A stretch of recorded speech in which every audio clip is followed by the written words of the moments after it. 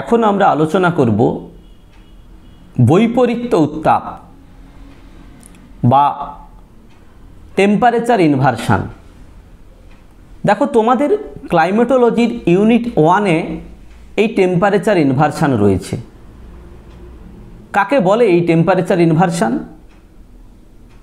না, ভূপৃষ্ঠ ও বায়ুমণ্ডলের উত্তাপের একমাত্র উৎসকে না সূর্য? এই সূর্য থেকেই যে আগত তাপশক্তি তার দুশো কুড়ি কোটি ভাগের মাত্র এক ভাগ এই ভূপৃষ্ঠকে তথা বায়ুমণ্ডলকে উত্তপ্ত করে। আর এই উত্তাপ সবচেয়ে বেশি কোথায় হয়? না, একেবারে বায়ুমণ্ডলের নিম্ন স্তরে, ভূপৃষ্ঠ সংলগ্ন অঞ্চলে। এবং এখান থেকেই পরিচলন, পরিবহন এবং বিকিরণ পদ্ধতিতে ধীরে ধীরে বায়ুমণ্ডল উত্তপ্ত হয়। তাই ভূপৃষ্ঠ থেকে যত ওপরের দিকে যাওয়া যায়, তত তাপমাত্রার পরিমাণ একটু একটু করে কমতে থাকে, যেটা আমরা জানি যে প্রতি এক কিলোমিটার উচ্চতা বৃদ্ধিতে গড়ে six point four degree centigrade হারে উষ্ণতা হ্রাস পায়। একে আমরা নর্মাল ল্যাপস রেট বা উষ্ণতা হ্রাসের স্বাভাবিক হার বলি। এটাই কিন্তু নিয়ম। কিন্তু কখনো কখনো এই উচ্চতা বৃদ্ধির সাথে সাথে উষ্ণতার হ্রাস না পেয়ে যদি বৃদ্ধি পায়, যদি বেড়ে যায়, তখন তাকে আমরা কি বলব না বৈপরীত্য উত্তাপ। মানে স্বাভাবিক হ্রাস হারের বিপরীত অবস্থা লক্ষ্য করছি। উচ্চতা বাড়লে উষ্ণতা কমবে, কিন্তু কখনো কখনো উচ্চতা বাড়লে যদি উষ্ণতা কমার পরিবর্তে বেড়ে যায়, তখনই তাকে আমরা বলব বৈপরীত্য উত্তাপ।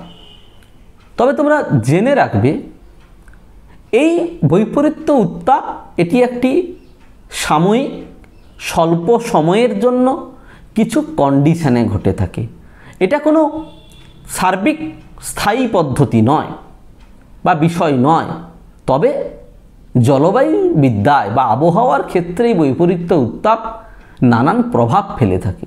তো যাই হোক, আমরা প্রধানত বৈপরীত্য উত্তাপের পদ্ধতিগুলো কি কি? কীভাবে ঘটছে? কোথায় হচ্ছে? এটুকু সংক্ষেপে আলোচনা করব। তো এই বৈপরীত্য উত্তাপকে কতগুলো ভাগে আমরা প্রথমে ভাগ করে নিই। তোমরা মন দিয়ে শুনবে। কি? না, ভূমি সংলগ্ন বৈপরীত্য উত্তাপ।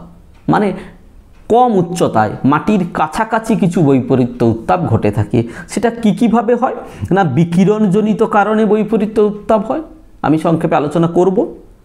দু নম্বর, বাতাসের অনুভূমিক সঞ্চালনজনিত কারণে বৈপরীত্য উত্তাপ ঘটতে পারে। তিন নম্বর, শীতের সময় পার্বত্য বাতাসের নিম্নমুখী অবতরণজনিত কারণে বৈপরীত্য উত্তাপ ঘটতে পারে। এগুলো হয় কি? না, ভূমি সংলগ্ন অঞ্চলে। আর একটু ওপরের দিকে, উচ্চ বায়ুস্তরে সেখানে কোথায়? না, অধগমনজনিত বৈপরীত্য উত্তাপ। আমরা আলোচনা করব সংক্ষেপে। দু নম্বর, বাতাসের বেগ ও পরিচলনের ফলে বৈপরীত্য উত্তাপ। আর কি? না, আর এক ধরনের বৈপরীত্য উত্তাপ হয়ে থাকে বায়ু প্রাচীরজনিত বৈপরীত্য উত্তাপ।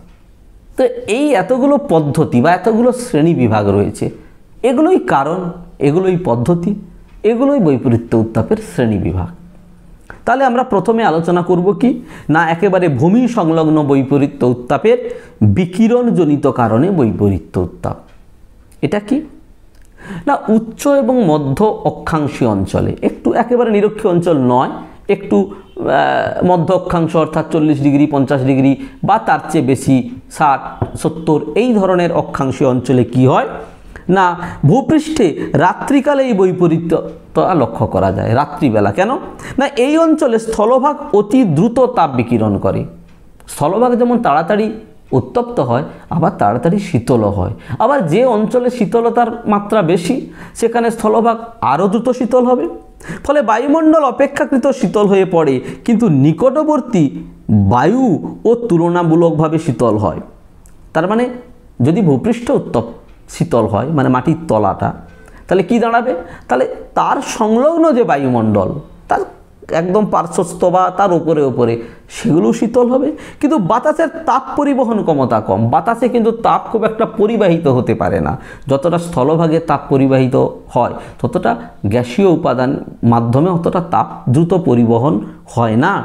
কম বলে বাতাস সহজে ঠান্ডা হয় না। অর্থাৎ তলাটা যতটা ঠান্ডা হলো, ওপরটা ততটা ঠান্ডা হলো না। এটা মুদ্রা কথা। নিচটা অনেক বেশি ঠান্ডা হয়ে গেল।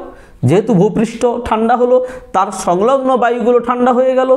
কিন্তু যেহেতু সেই তাপ দ্রুত পরিবাহিত হতে পারছে না, তাই ওপরের দিকটা অতটা ঠান্ডা হলো না। ফলে অপেক্ষাকৃত উষ্ণ থাকল। তার মানে যদি আমি নিচ থেকে ওপরের দিকে যাই, তাহলে নিচের দিকটা একটু বেশি ঠান্ডা হলো, ওপরের দিক একটু কম ঠান্ডা হলো। একেই আমরা বলি কি? না বিকিরণজনিত কারণে বৈপরীত্য উত্তাপের সৃষ্টি। এগুলো কিছু কন্ডিশন থাকলে পরে হয়, কখন হয়, না দীর্ঘ শীতকালীন রাত্রি যদি হয়। খুব বড়, সাধারণত উত্তর গোলার্ধে শীতকালে রাত বড় হয়, ফলে কি হয় না স্থলভাগ তাপ বিকিরণ করতে করতে করতে একেবারে স্থলভাগ ঠান্ডা হয়ে যাচ্ছে, অনেক বেশি ঠান্ডা হচ্ছে। ফলে সংলগ্ন বায়ু ও ঠান্ডা হচ্ছে, ফলে নিচের দিকটা বেশি ঠান্ডা হয়ে যায়। আবার শুষ্ক ও শান্ত বায়ুর অবস্থান যদি থাকে অর্থাৎ কি? না, বাতাস শুষ্ক হলে ভূপৃষ্ঠ থেকে বিকিরিত তাপমাত্রা ধরে রাখতে বা শোষণ করতে পারে না, যদি শুষ্ক হয়। আবার বাতাস শান্ত হলে তা কি হয়? না, স্থির থাকলে বাতাসের পরিচলন পদ্ধতি অত্যন্ত ধীরে ধীরে হয়, অর্থাৎ মিক্সিং হয় না। স্বাভাবিক কারণে এই ধরনের বৈপরীত্যতা সৃষ্টি হয় উষ্ণতার। মেঘমুক্ত যদি আকাশ হয়, মেঘমুক্ত আকাশে কি হয়? না, আকাশ পরিষ্কার থাকলে ভূপৃষ্ঠ দ্রুত তাপ বিকিরণ করে ঠান্ডা হয়ে যায়, ভূপৃষ্ঠ দ্রুত ঠান্ডা হতে পারে মানে নিচের দিকটা বেশি ঠান্ডা হয়ে যায়। যার ফলে হতে পারে। আর বরফাচ্ছিত ভূপৃষ্ঠ যদি থাকে, এটা স্বাভাবিক, খুব সাধারণ ব্যাপার।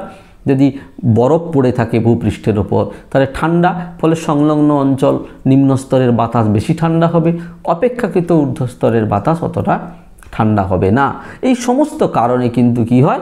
না, এই পদ্ধতিতে বৈপরীত্যতা লক্ষ্য করা যায়। এরপরে কি? না, এরপরে আমাদের রয়েছে কি? না, বাতাসের অনুভূমিক সঞ্চালনজনিত কারণে বৈপরীত্য উত্তাপ।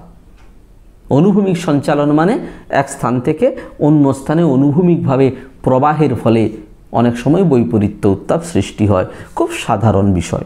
কি? না, বাতাসের অনুভূমিক গতির জন্য কি হয়? না, শীতল বাতাসের তলদেশ দিয়ে যদি হঠাৎ উষ্ণ বাতাস প্রবাহিত হয়, অর্থাৎ দুটো বাতাস প্রবাহিত হচ্ছে, যদি ওপর দিয়ে উষ্ণ বাতাস তো হালকা, তো স্বাভাবিক কারণে যদি শীতল বাতাস, উষ্ণ বাতাস অনুভূমিকভাবে প্রবাহিত হয়, তাহলে ভারী বাতাস শীতল, সে তো নিচের দিকে নেমে যাবে আর ওপর দিয়ে উষ্ণ বাতাস প্রবাহিত হবে। স্বাভাবিক কারণে নিচের বাতাস একটু ঠান্ডা বেশি আর ওপরে যেহেতু উষ্ণ বাতাস ওপর দিয়ে যাচ্ছে, তাহলে ওপরের বাতাস একটু গরম বেশি।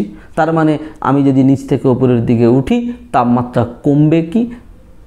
একটু বেড়ে যাবে। এইভাবে কি হয়?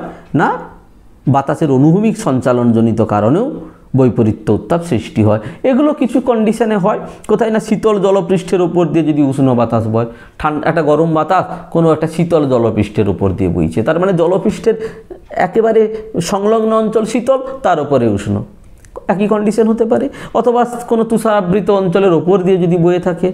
এই সমস্ত কারণে বা অনেক সময় কি হয়, এই যে সমুদ্রবায়ু, স্থলবায়ু, এই অঞ্চলেও কিন্তু এই ধরনের বৈপরীত্যতা আমরা লক্ষ্য করতে পারি। আর কি? না, শীতল পার্বত্য বায়ুর নিম্নমুখী অবতরণজনিত কারণে বৈপরীত্য উত্তাপ। এই যে ক্যাটাবেটিক, অ্যানাবেটিক বায়ু, খুব সিম্পল ব্যাপার এটা কি? না, পার্বত্য অঞ্চলের উচ্চ অংশে রাত্রে কি হয়? অনেক ঠান্ডা। দ্রুত তাপমাত্রা হ্রাস পায়। তো সে ভারী বাতাস কি হয়? পর্বতের গা দিয়ে নিচের দিকে নেমে চলে আসে। যাকে আমরা কি বলি? না, ক্যাটাবেটিক বায়ু বলি। ফলে ওপরের ঠান্ডা বাতাস নিচে চলে এলো। তাহলে নিচটাকে ঠান্ডা করে দিল।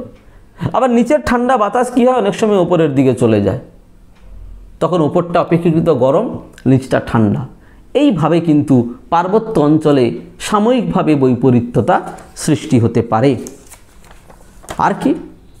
এবার এগুলো গেল সব ভূপৃষ্ঠ সংলগ্ন অঞ্চলে। আর কি উচ্চ বায়ুস্তরে তাপমাত্রার বৈপরীত্যতা। তাহলে একটু ওপরের দিকে কত? না, প্রায় সাড়ে চারশো থেকে পাঁচশো মিটার ঊর্ধ্বে। এগুলো তার তলায় কিন্তু, ভূমি সংলগ্ন অঞ্চলে। আমি যেগুলো বললাম এতক্ষণ। কীভাবে হয়? না, অধগমনজনিত বৈপরীত্য উত্তাপ। এটা কি? না, অনেক সময় উচ্চস্তরের শীতল বাতাস যদি নিচের দিকে নেমে দুই পাশে ছড়িয়ে পড়ে, তবে এরূপ ঘটে থাকে। ওই অ্যানাবেটিক, ক্যাটাবেটিক যদি আরও উচ্চ পার্বত্য অঞ্চলের দিকে হয়, অনেক সময় ঘটে। উচ্চ বায়ুস্তরে এইরূপ অধগমন ঘটলে চারপাশের বাতাস উত্তপ্ত হয়। কিন্তু নিচের স্তরে প্রবহনবান বাতাস এরূপ অধগমনে অংশগ্রহণ করে না বলে তাপের কোনো পরিবর্তন হয় না। এর ফলে ওপরের উষ্ণবায়ু ও নিচে শীতল বায়ুস্তরের উৎপত্তি হয়ে তাপমাত্রার বৈপরীত্য ঘটায়। অর্থাৎ আগে আমরা এই ধরনের কারণগুলো পড়লাম। আর কি বাতাসের বেগ ও পরিচলনের ফলে গঠিত বৈপরীত্যতা। এগুলো একটু ওপরের দিকে হয়। না, এই প্রকার উত্তাপের বৈপরীত্যতা সাধারণত ভূপৃষ্ঠের ঊর্ধ্বে যান্ত্রিক প্রক্রিয়ায় ঘটে। কি? না, অশান্ত বায়ু প্রবাহ মানে একটু এলোমেলো বায়ু প্রবাহ বায়ুস্রোত নিরক্ষীয় অঞ্চলে বা বিভিন্ন ঝঞ্ঝাপূর্ণ ঘূর্ণবাদজনিত এই ধরনের কন্ডিশনগুলো যখন হয়, পরিচালন প্রক্রিয়া এবং অশান্ত বায়ু এই দুটির মিলিত ক্রিয়ার ফলে এই রোগ ঘটে থাকে। কীরকম? না, অশান্ত ঊর্ধ্বমুখী হলে নিচের বাতাসকে টেনে ওপরে তুলে দেবে। অনেক সময় দ্রুত নিচের বাতাস ওপরের দিকে উঠে যাচ্ছে। তখন নিচের বাতাসকে নিয়ে ওপরে উঠছে। এবং নিম্নমুখী অশান্ত বায়ুপ্রবাহ ঊর্ধ্বস্তরের বায়ুপ্রবাহকে নিচে নামিয়ে দেবে। এগুলো অনেক সময় এই যে কিউমুলোনিম্বাস মেঘ সৃষ্টি হয় বজ্রগর্ভ মেঘ সৃষ্টি হয়, এই পদ্ধতিতে কিন্তু হয়ে থাকে। এগুলো আমরা কন্ডেনসেশন বা প্রেসিপিটেশনের যে মেকানিজম আছে, তখন আমরা এগুলো পড়তে পারব। অর্থাৎ ঝঞ্ঝাপূর্ণ, অর্থাৎ উপরের বাতাস দ্রুত নিচে জমে আসে, আবার কিছুটা নামার পরে সে দ্রুত ওপরে উঠে যায়। এই ধরনের ওপরের ঠান্ডা নিচে নামছে, নিচের গরম ওপরে উঠছে। এই এই ধরনের একটা অশান্ত পরিবেশ সৃষ্টি হয়। কোথায়? না, ভূপৃষ্ঠ থেকে কিন্তু বেশ খানিকটা ওপরে, যেখানে প্রধানত এই নিম্ন স্তরের মেঘগুলো সৃষ্টি হচ্ছে। এরকম জায়গায়।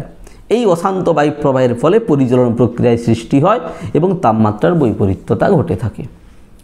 এগুলো আমরা খুব একটা অনুভব করি না, বায়ুমণ্ডল একটু ওপরের দিকে হয়, কিন্তু জলবায়ুগত ক্ষেত্রে নানান প্রভাব রয়েছে। আর সবশেষে কি? বায়ুর প্রাচীরজনিত বৈপরীত্যতা। এটা খুব সাধারণ বিষয়। অর্থাৎ এটা মধ্যক্ষাংশী অঞ্চলে, যেখানে নাতিশীতোষ্ণ ঘূর্ণবাদ সৃষ্টি হয়। কি হয়? না, একদিকে উষ্ণমণ্ডল, তো সেখান থেকে গরম বাতাস যাচ্ছে। আবার একদিকে হিমমণ্ডল বা ঠান্ডা এলাকা, শীতল বাতাস আসছে। দুটো বাতাস যদি একসাথে পরস্পর মিলিত হয়, তাহলে কি হবে? একটি প্রাচীর তৈরি হবে, ফ্রন্ট সীমান্ত তৈরি হবে। সেই সীমান্ত বরাবর গরম বাতাস যেহেতু হালকা, সে ওপরে উঠে যাবে, শীতল বাতাস ভারী, সে নিচের দিকে নেমে আসবে। ফলে নিচের উষ্ণতাকে কমিয়ে দেবে, আর গরম বাতাস ওপরে উঠে গিয়ে ওপরের উষ্ণতাকে বাড়িয়ে দেবে। এইভাবে কিন্তু সাময়িকভাবে বৈপরীত্যতা সৃষ্টি করবে, কিছুক্ষণ পরে অক্লুশন হবে, তারপরে কিন্তু আবার কিন্তু এই বৈপরীত্যতা নষ্ট হয়ে যাবে। তো এই পদ্ধতিতে, এই যে আমি বললাম পদ্ধতিগুলো, এইভাবেই কিন্তু বৈপরীত্য উত্তাপ সৃষ্টি হচ্ছে। এগুলোই পদ্ধতি, এগুলোই কারণ, এগুলোই শ্রেণীবিভাগ আমি আগে বলেছি, তোমরা খুব ভালো করে এগুলো বই থেকে পড়বে।